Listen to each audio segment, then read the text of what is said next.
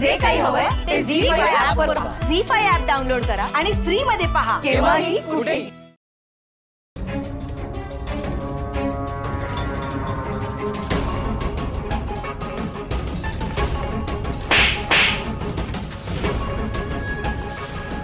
इथेच गेली होतीस ना?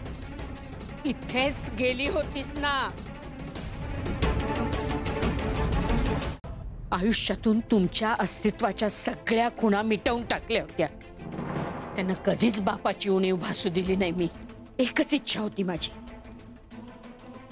ज्या गाण्यामुळे आणि ज्या सुरांमुळे माझा संसार उद्ध्वस्त झाला त्या गाण्याशी माझ्या मुलांचा कधी संबंध येता कामा नाही नंदिनीने माझ्यासाठी जॉब आणला होता.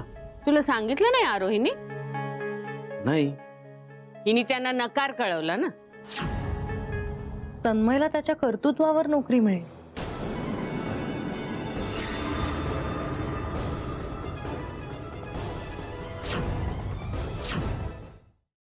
आई अंबाबाई तन्मयने आयुष्यात पुन्हा उभं राहण्याचं ठरवलंय. त्याला तुझ्या आशीर्वादाची खूप गरज आहे आई. त्याचा धीर खचू देऊ नकोस. कारण तन्मय जर आता खचला तर त्याला आता पुन्हा उभं राहणं खूप अवघड होऊन बसेल. त्याचं भविष्य आता तुझ्या हातात आहे.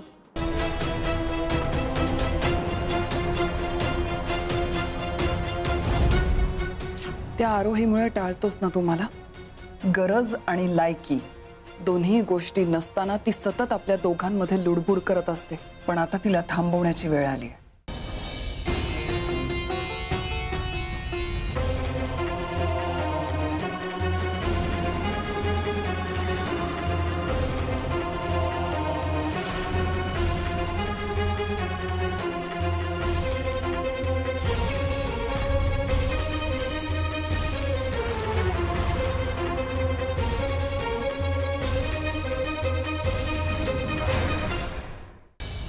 पुरे म्हणजे छान झाले पण मला आता इच्छा नाही पुरे.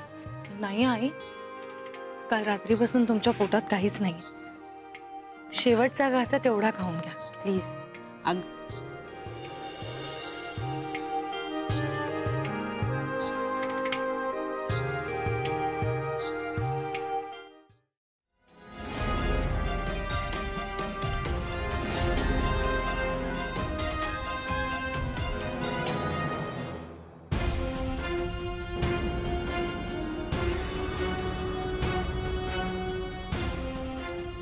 तन्मय तन्मय तू तू आलास? मला माहिती होतं तू येणार. मी पप्पा पप्पा मी बोलले होते ना तुम्हाला. नंदिनी बेटा गोळ्या नाही पप्पा. मी फक्त तन्मयच्या हातनच गोळी घेणार.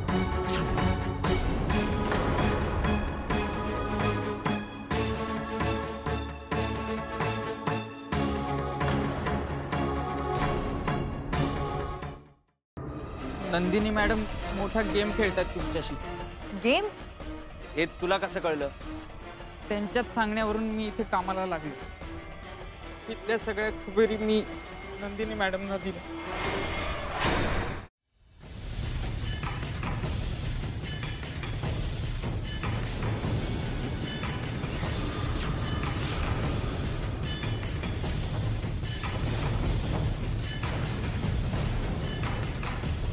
हा कसा आहे छान आहे ना?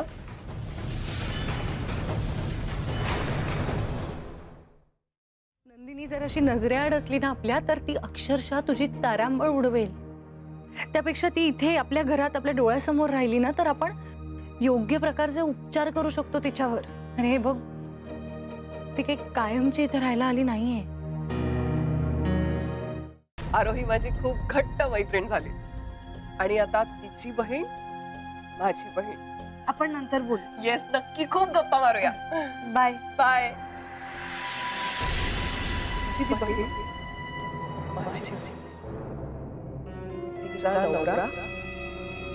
माझा नवरा. अरे नुसती शिरली नाही. ती तर आता मालकीच्या गोष्टी करायला लागली अरे ती मला सरळ सरळ बोलली ना मी इकडनं कोणाला पण काढू शकते. मला तुला तुझ्या आईला पण. आम्हाला इथून काढून द्यायला ती काय मालकीण झाली की काय इथली? बोलत तरी त्या स्टाईल मध्ये होती. अरे आरूच्या रूम मध्ये ती मालकीण असल्यासारखी फिरत होती इकडे ती. हे माहित आहे? माहिती असून काय फ़ायदा आहे काय? आरू नंदिनीच्या बाबतीत कुणाचं काय ऐकून घेते काय? पण तू नंदिनीच्या बाबतीत आमच्या कुणाचंही काहीच का ऐकत नाहीयेस? कारण माझं मन मला सांगतंय. अगदी खंबीरपणे सांगतंय. नंदिनी आता माझ्या नजरेसमोर राहणं फार गरजेचं आहे, आई. एकदा का ती माझ्या नजरेसमोर पूर्णपणे बरी की मी स्वतःहून तिला तिच्या घरी पाठवेन. एक गोष्ट लक्षात ठेवा आरोही पाहुण्याची वेळेवरच पाठवणी करावी. नाहीतर मग तो आपलं स्थान विसरून स्वतःला घराचा मालक समजायला लागतो.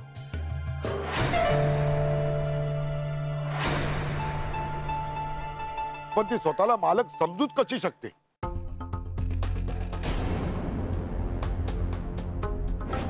ही आग्रहाची फाईल आग्रहाची फाईल याचा अर्थ आग्रह तुम्ही आमच्याकडे गहाण ठेवतो. फक्त गहाण.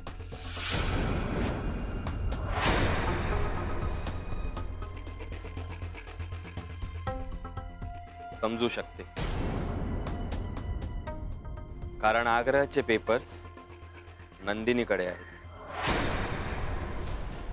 काय?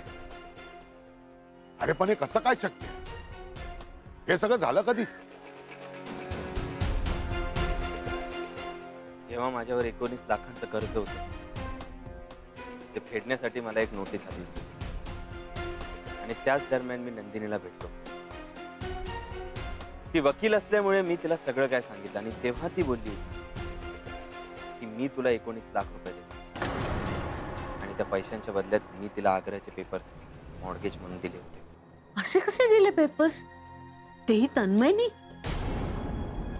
अगं तो तर नीट मागचा पुढचा विचार करणारा मुलगा आहे. हो आई पण या सगळ्या तन्मयाची खरंच काही चूक नाही त्यावेळी परिस्थितीच अशी होती की आम्हाला हे पाऊल उचलावं लागलं. पण आई मी तुम्हाला हे सगळं सांगितलंय हे प्लीज घरात बाकी कोणाला कळू देऊ नका. काका प्लीज ही गोष्ट कोणाला सांगू नका. आईला जर हे कळलं तर तिला खूप मोठा धक्का बसेल. तेव्हा मला नंदिनीने कर्जाच्या ओझ्यातून वाचवलं होतं. पण तुम्ही एवढ्या रागावलात कशाला?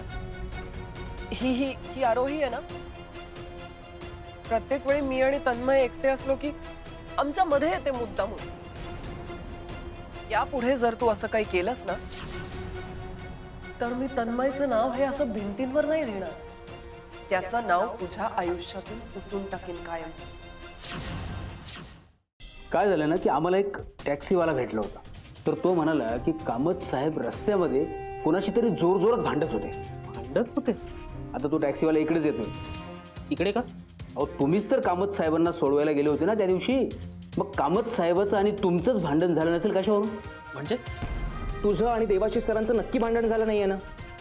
मग कशाला उगाच टेन्शन घेतोयस?